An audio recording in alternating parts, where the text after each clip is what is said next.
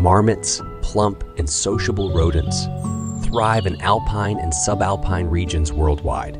With a burly build and short legs, they are well adapted for life in rugged terrains.